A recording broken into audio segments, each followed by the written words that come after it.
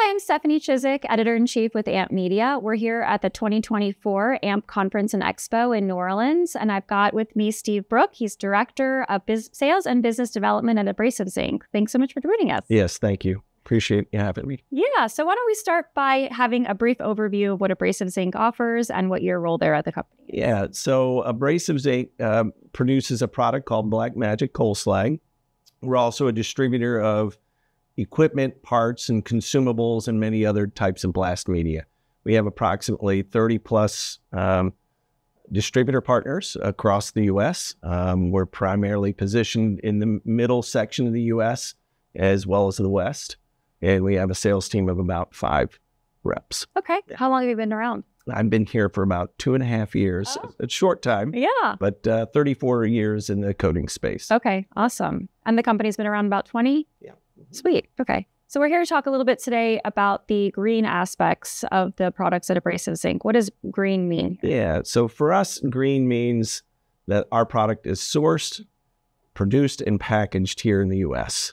And the reason why that is such a big deal is we're seeing an influx of competitors, uh, foreign competitors, uh, that are trying to put uh, a message out that their pr- their product might be greener than ours. Um, and many of these products are being shipped 12 to 15,000 nautical miles into the U.S. Wow. Some of them coming in with foreign subsidies.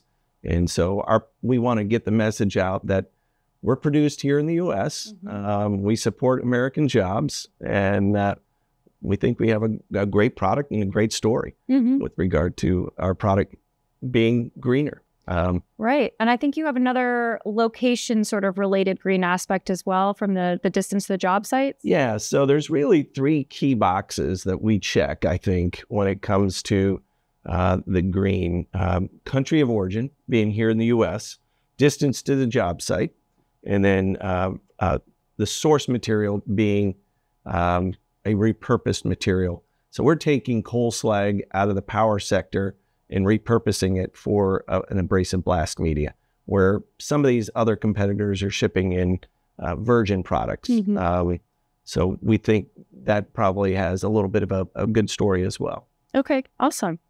Anything else you want to add before we close up today? No, I think that's good. Okay. Thank awesome. you.